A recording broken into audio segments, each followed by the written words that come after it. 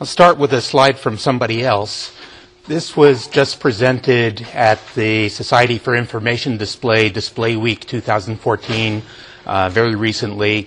It was a keynote by Sony's uh, Dr. Kazumasa Nomoto, and he put up this pentagram of different parameters of uh, image quality. So there's temporal resolution, there's spatial resolution, there's quantization, uh, there's color gamut, and there's contrast. And although he didn't say this, you can see from the way the pentagram is kind of designed, we go from a quarter of standard definition to standard definition to 2K to 4K to 8K in the spatial resolution and so on.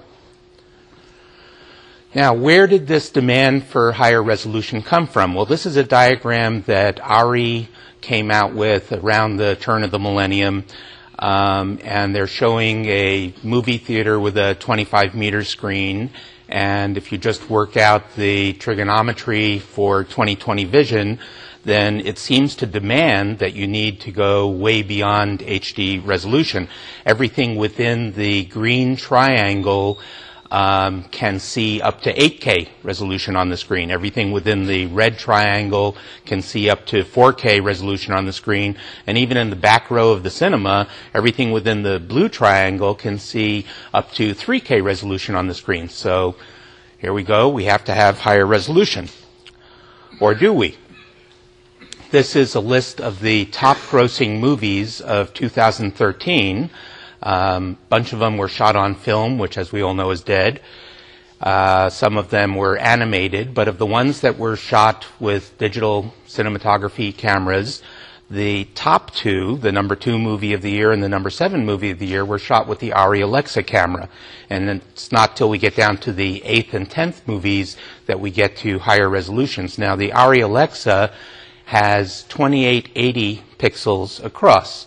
That's less than 3K resolution.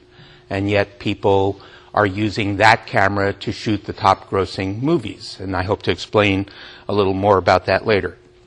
Here is a screen at a booth at the recent NAB show in April. This is Ericsson's booth. And one of the biggest questions that everyone asks when they see a screen that might be 4K is, is that 4K? Now, why should they have to ask that question? I'll get into that a little later too.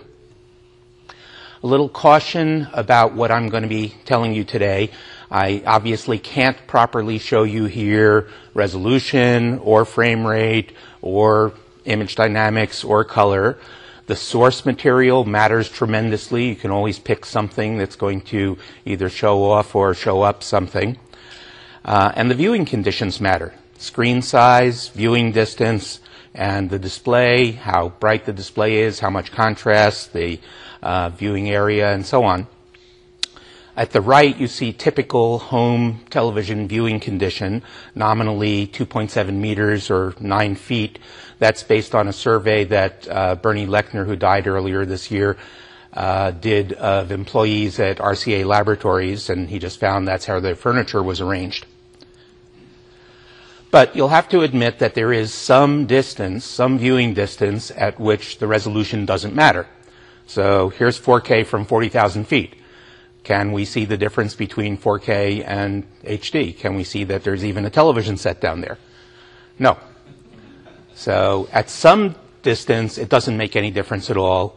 The question is, where is that distance and what happens as we start approaching it?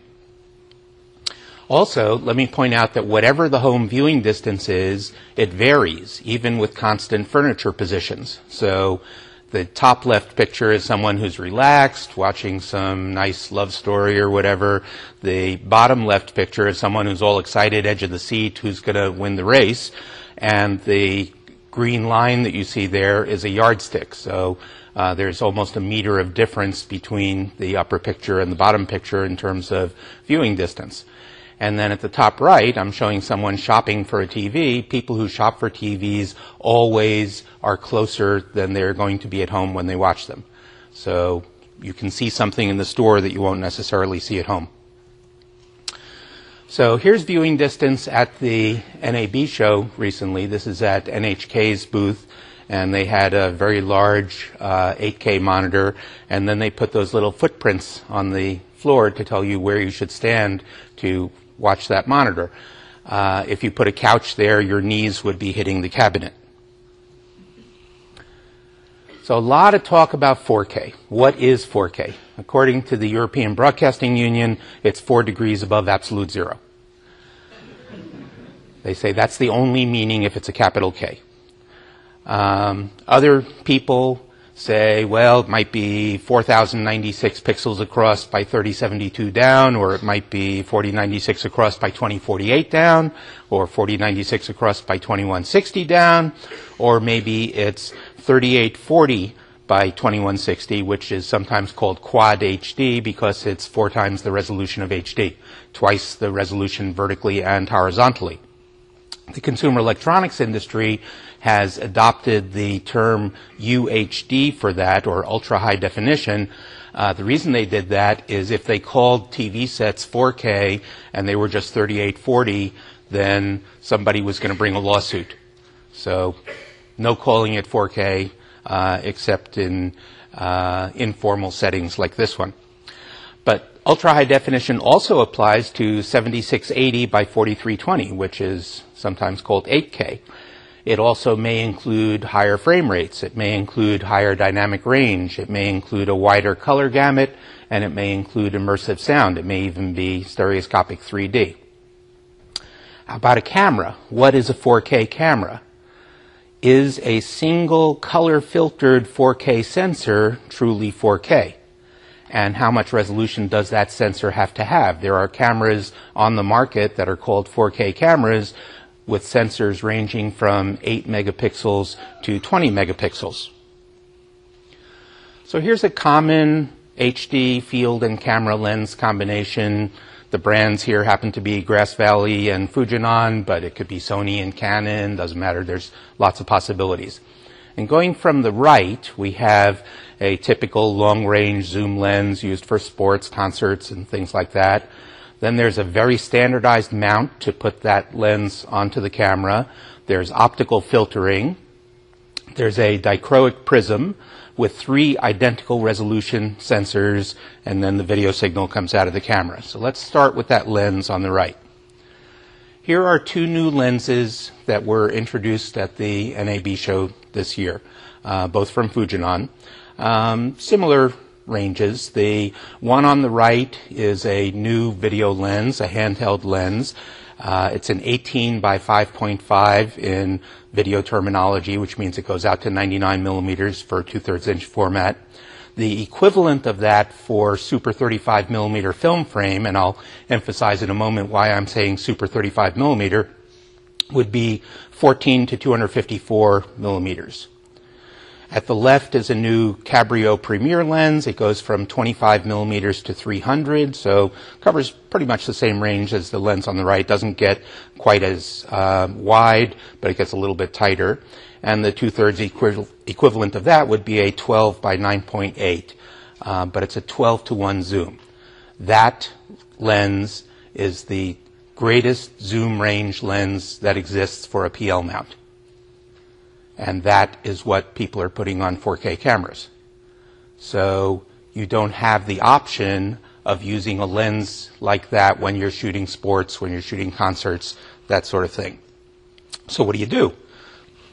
oh, uh, by the way, about that Super 35 millimeter frame, uh, PL mount image sensors come in wildly different sizes even if they all have the same resolution. So at right, I'm showing a small portion of a chart from AbelCine of fields of view. The yellow field of view is what a super 35 millimeter uh, frame would do, and then the blue is what the camera sensor would do. And you can see at the top that the Canon 5D or 1D uh, have a much greater field of view than the 35 millimeter, and down at the bottom, the Blackmagic Design Cinema camera has a much smaller field of view than 35 millimeter. So what do you do if you need a long zoom? Well, the camera manufacturers say, no problem, just use an adapter. So you get one of those long zoom lenses you're using for HD at the moment. Well, a couple of problems with that. First, the lens is designed for HD. So its performance at 4K is not going to be as great as its performance at uh, HD is. But the second thing is you have to somehow connect that to the camera. So you need an adapter. So the thing in the middle is an adapter. Now, if that adapter is absolutely optically perfect, it cannot be made any better, uh, no matter how much you pay for it, no matter who works on it, then you will have about a 2.6 stop light loss. And that's for a perfect adapter. That's assuming no ill effect on the image whatsoever. And it says it compensates for different color depths. I'll explain the different color depths in a moment. On the right is an adapter that has less of a light loss, and it can be used to put one of these lenses on some of the Sony cameras that have a crop mode that uh, goes from 4K down to 2K. But if it's 2K, then you know why bother? Why not use the lens on an HD camera? So here's that color depth issue. Uh, this is that very defined standard for mounting a lens on a two-thirds inch HD camera. And the lens and camera manufacturers got together and said, sorry, but we can't make all three of the colors show up in the same place. So the green shows up in one plane, the blue is five microns behind that, the red is 10 microns behind the green. Uh, that's not even the way you would expect it to go based on the spectrum, but that's the best they could do. So that's what those HD lenses are designed for. The adapter has to compensate for that. Now here's what's inside one of those HD lenses. This has about 36 elements in four groups.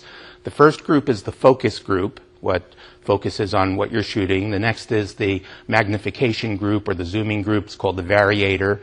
Uh, the next is the compensator, which maintains the focus while you're zooming. And then the last is the relay that simply takes the image and puts it on the sensor. Well, there's seven elements just in that relay section.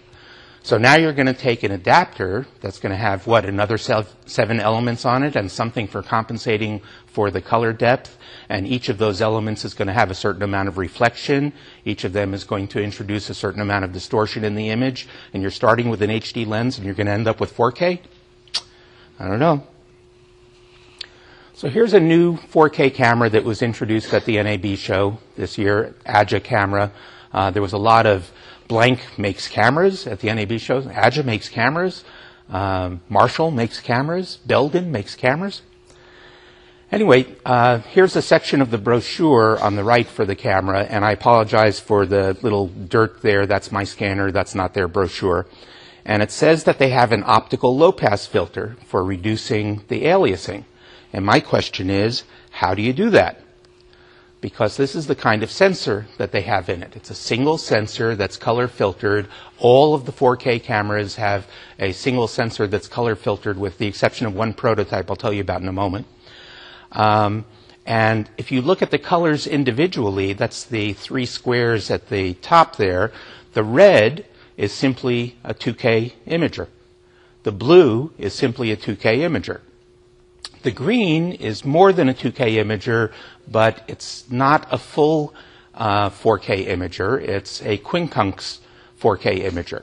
And so there's all kinds of aliases that you can have. Now, if you optically filter this for the red or the blue, then you've filtered too much for the green.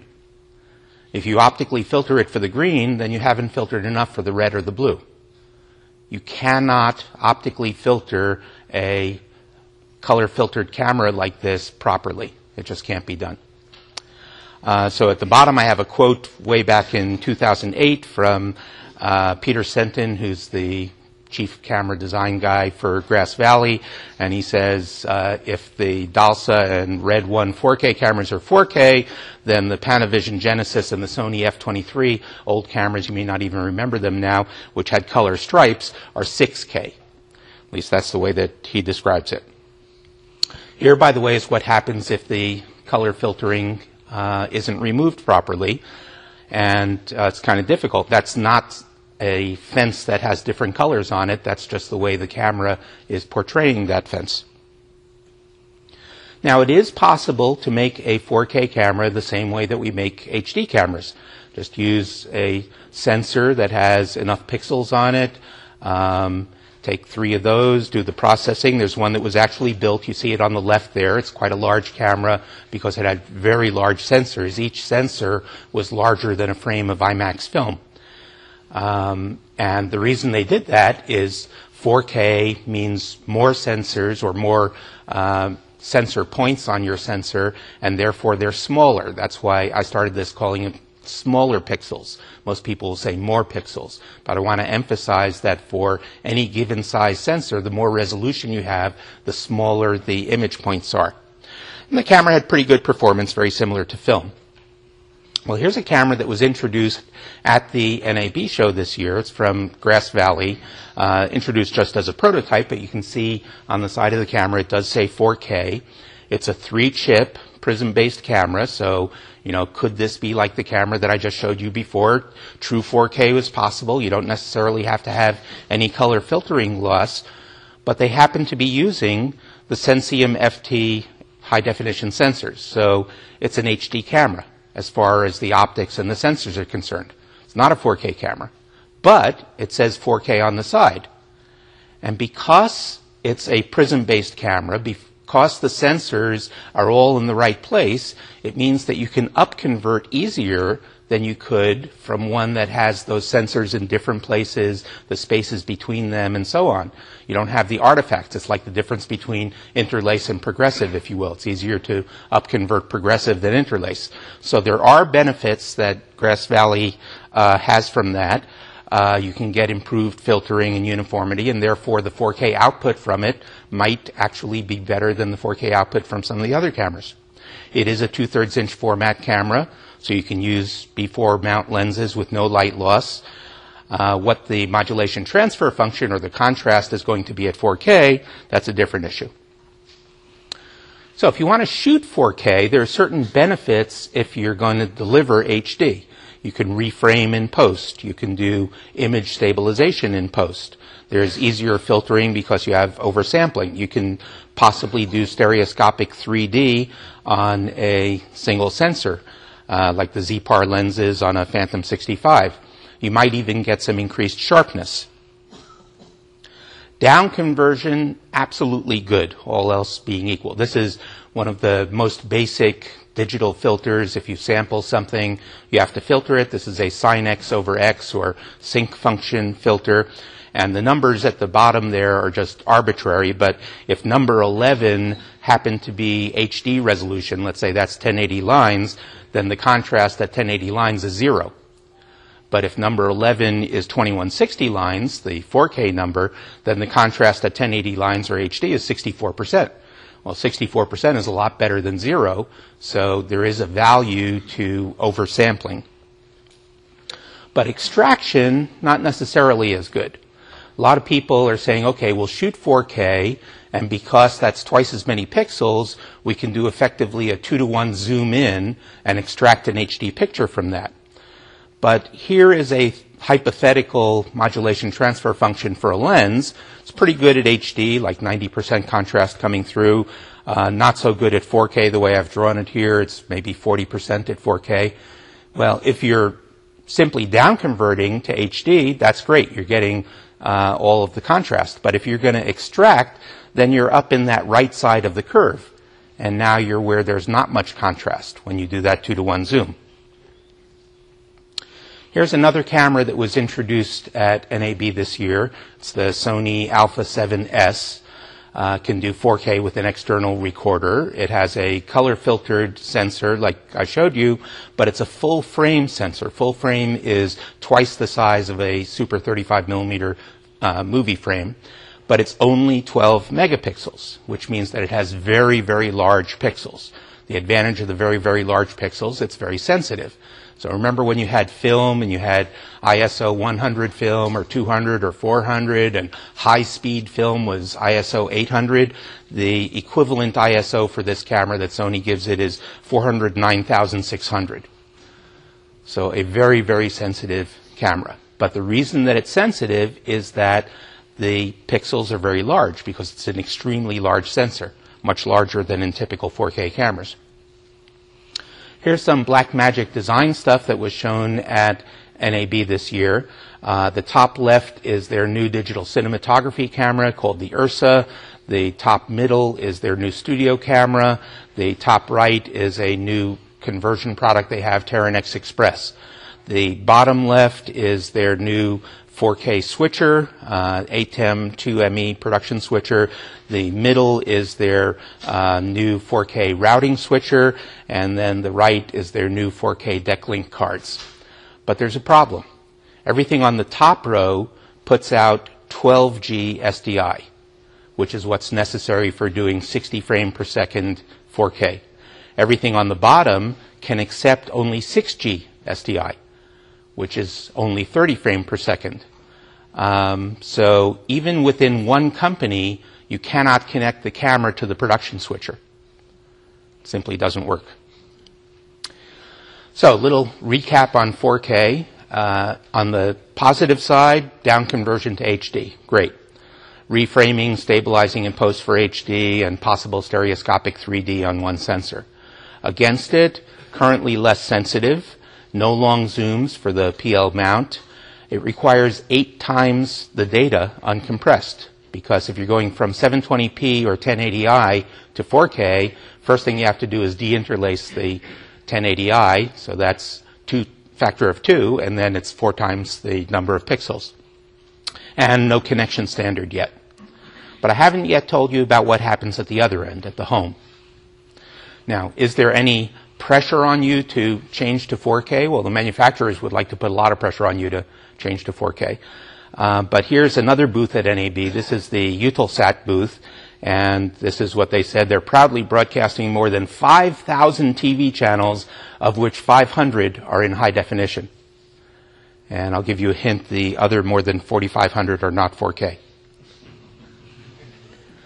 So here's some stuff that came from somebody else. This is a, a reporter for CNET, uh, Jeffrey Morrison. And back in October of 2012, when people were just starting to talk about 4K, he said, boy, you know, here's three TV improvements that are more worthwhile than Ultra HD 4K.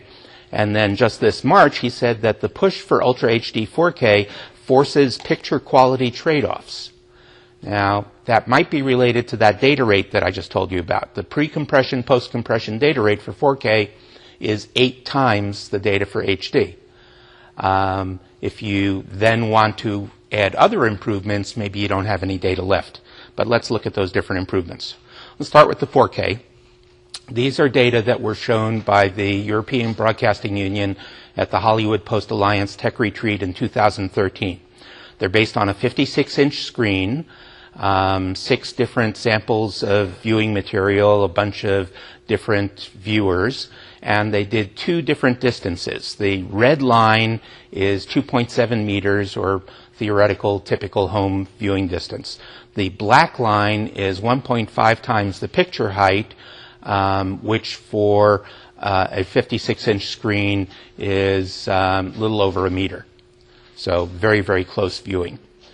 And what they found was, yes, there is unquestionably an improvement. So anyone who says you can't see 4K at home, they're lying there is an improvement, and it's a, st- a statistically significant improvement. But at the typical home viewing distance, that's the red line, it's about a third of a grade of improvement.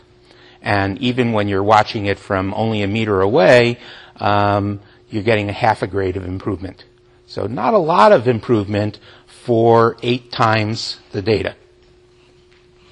We are at an event of SMPTE, and I don't know how often you think about what the letters stand for, but one of the letters of SMPTE is M, and the M stands for motion. We are in the motion picture business, not the static picture business. So why are we even talking about static resolution?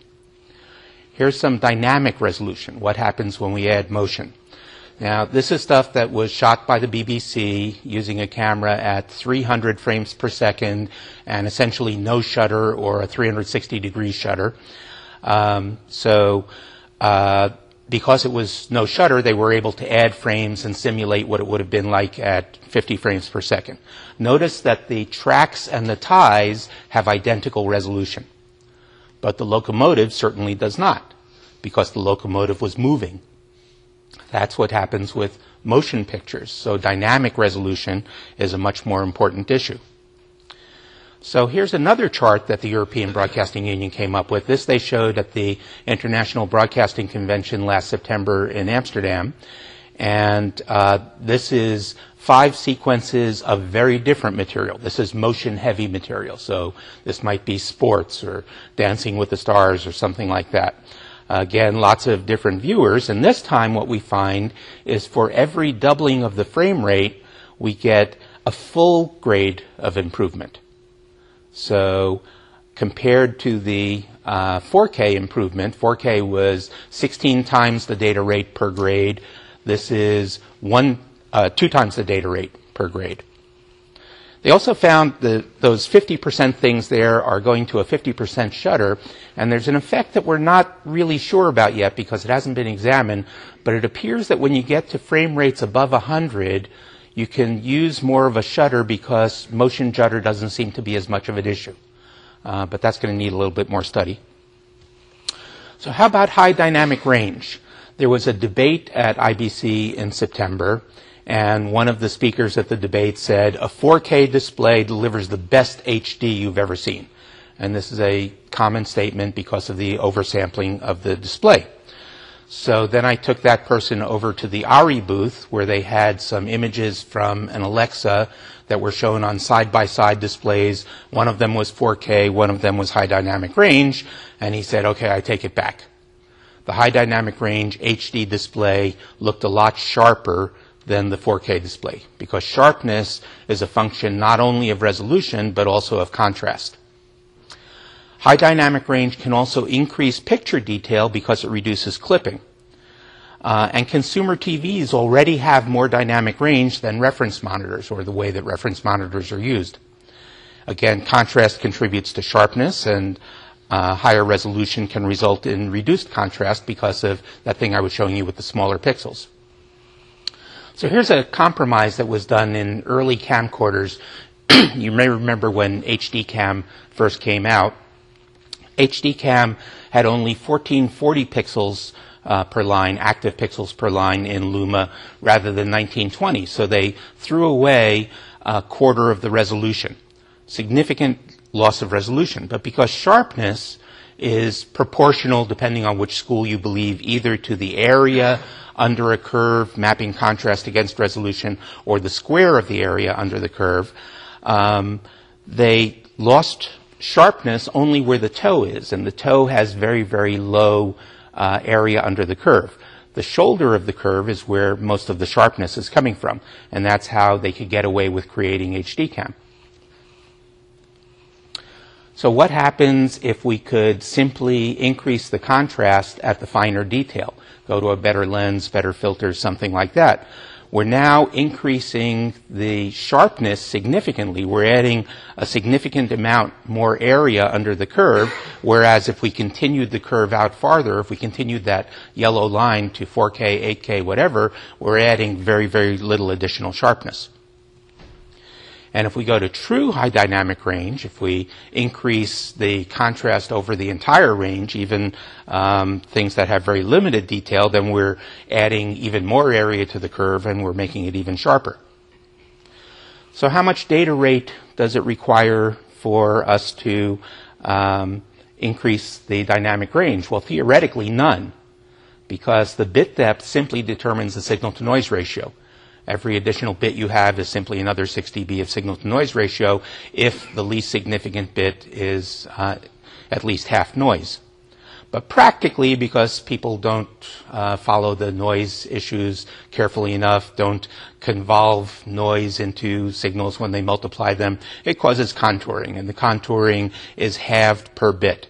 And it's eliminated when the least significant bit, again, has um, one half of it being noise. So let's say we go to 12 bits, which would be a quarter of the contouring over 10 bits.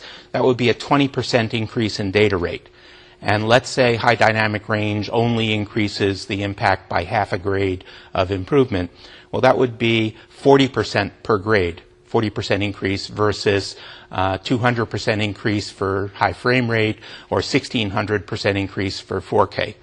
Um, so this may be something that provides the most impact. But there are some problems. By the way, this was shown at NAB this year at the SMPTE Technology Summit for Cinema. Uh, two organizations showed this, the European Broadcasting Union and the uh, École Polytechnique uh, in Lausanne in Switzerland, and their results were very, very close. Um, and they're showing what seems to be a tremendous improvement for going to increased brightness on the display and higher dynamic range. This is something that Dolby has been pushing very hard. There are four organizations actually pushing this high dynamic range uh, BBC, Dolby, uh, Philips, and Technicolor.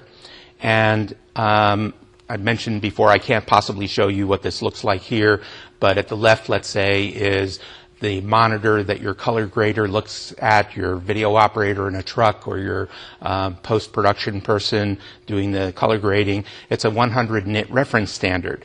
Uh, Dolby has a special monitor that does 4,000 nits, and it's pretty amazing to look at. But consumer TVs are already in the range of 450 to 900 nits, and down at the bottom I have a commercial product from Samsung that's available that's 1500 nits. So we're already beyond in the home where we are in the color grading suite. And Dolby has shown some demos that are very interesting where they have two identical consumer monitors, both of them exactly the same brightness, exactly the same capability of dynamic range, but one of them is fed a signal that was graded on a high dynamic range monitor, and one is fed a signal that was graded on a standard definition monitor, and there's pretty spectacular difference between the two. But there's interactivity among this stuff.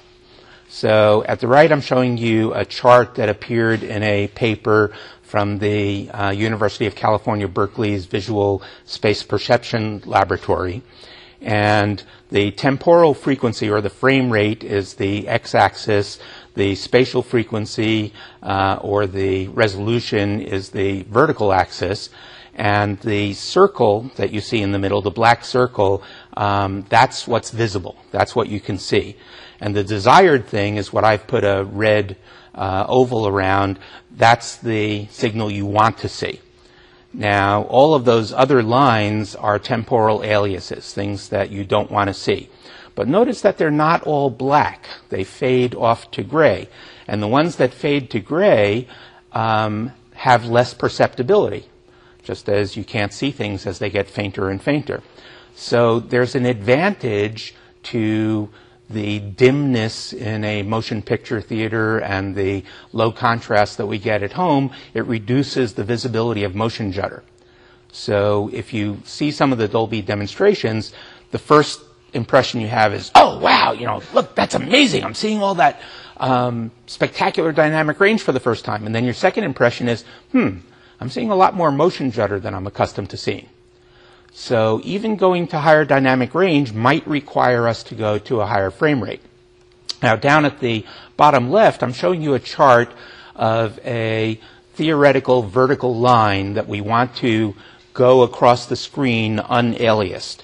So if we take the number of pixels in 720p HDTV, it's 1280, and we divide that by the frame rate, that's how long it should take this to go across the screen. So 720 um, P-type HDTV at 120 frames per second to have something unaliased go across the screen should take it 10.7 seconds. Now, if we do 4K at 60 frames per second, that's 68.3 seconds. That's more than a minute to cross the screen unaliased.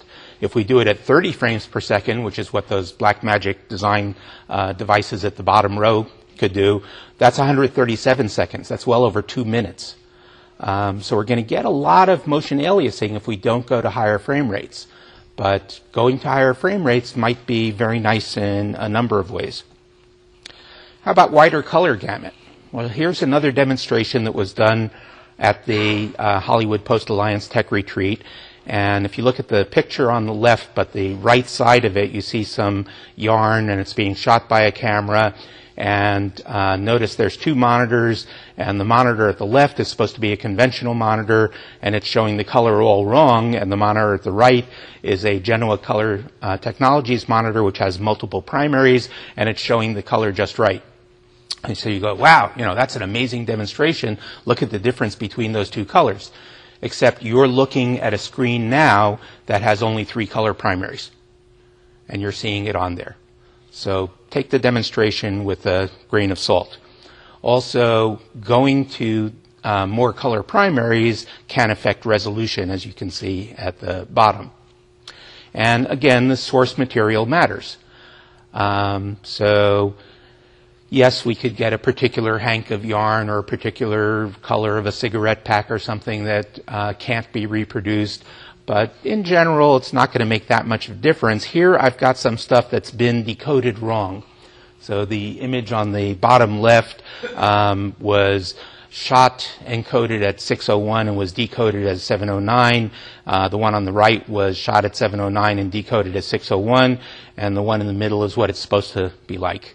Yeah, you know, you can see it's a little yellower on the right and a little more orange on the left, but is this going to bother people at home? And finally, here's something that appeared in the SMPTE uh, Motion Imaging Journal uh, last November, December, and they were talking about the SMPTE convention last October. And here's uh, Executive Director uh, Barbara Lange, and she says the overwhelming response from attendees was that faster and better pixels, better pixels meaning higher dynamic range, are more desirable than uh, what people were calling more pixels, which I call smaller pixels. So again, to sum up from the European Broadcasting Union UHD roadmap at IBC, uh, 4K has a limited viewing range. The viewing distance, very important, maximum half grade impact based on the material they showed. Uh, higher frame rate, higher dynamic range, wider color gamut, immersive sound have no limit on where you perceive that. So you can just walk into a room and have the TV at the other end and uh, immediately see that improvement. And again, the PN the uh, pre and post compression data rates. Uh, 4K eight times the data rate from either 1080i or 720p, higher frame rate two times the data rate, or if you're starting with interlace, let's say four times the data rate, and then higher dynamic range, wider color gamut, and immersive sound, minimal increases in data rate from what we're doing today. Any questions? So make a statement about what your dream format would be what resolution, what uh, frame rate? Uh, um, what do you think we should all do? I don't know about the resolution yet, but I don't think we have to go higher than what we have now.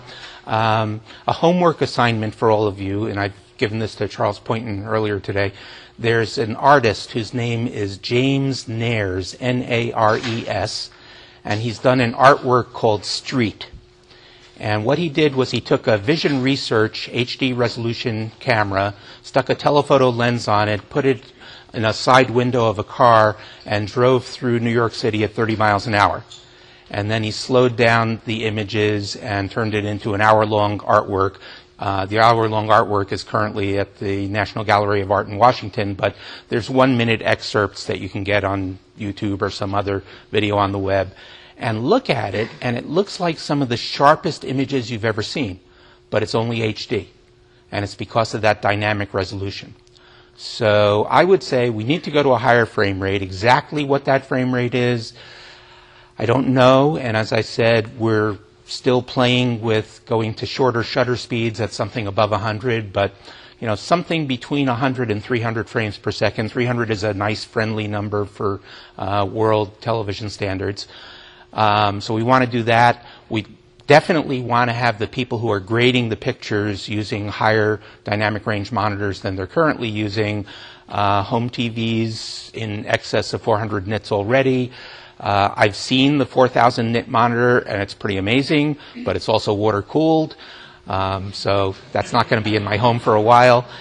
Um, I'd say, you know, HD resolution, higher frame rate, and get the graders to use high dynamic range. That's my roadmap. Yes, Carl. As far as depth of field, is there a big difference between a camera using a Bayer filter compared to a prism type camera? There's no effect by the Bayer filter per se, but 4K cameras all use uh, PL mounts and larger sensors, and the larger sensor has a big effect on depth of field. Um, so yes, you you get a shallower depth of field with the larger sensor, which sometimes is very nice if you're doing a movie and you want to separate one character from another or pull focus. It's great to have shallow depth of field. But if you're doing a documentary or news shooting or sports, then you want to have large depth of field, and the smaller sensor is actually better. Yes. So in the uh, SMPTE UHD TV study group, um, at frame rates below 120, they're still discussing, God help us all, maintaining the 1001 frame rate for uh, NTSC evolution. Uh, at 120 frames per second, they're pretty much decided we're not going to do 1001. Very, very nice. What this means, however, is every bit of content developed, uh, produced right until this point in time is going to need to be interpolated to 120 as opposed to one suggestion was just play it at 0.1% error and don't worry about it. What do you think about the viability of frame rate converting from 1001 to 1000? No problem whatsoever. Um, A, I do it all the time at the Metropolitan Opera. I send live stuff out that goes around the world. So we're shooting at 59.94 and we're distributing at 50.00. So we're uh, making that conversion. Um, but also in the early days of HD, when NHK was saying it should be 60.00, they had demonstrations of frame rate conversion, including one that showed a pendulum swinging back and forth in front of a grid, and no one could see the problem. But I thought, I think we made a mistake when we went to HD, and I hope we correct that mistake at this point. Any other questions? Charles. So you mentioned uh, some luminance numbers for displays. So my sort of standard number for consumer displays, just rule, my own rule of thumb is 320 nits.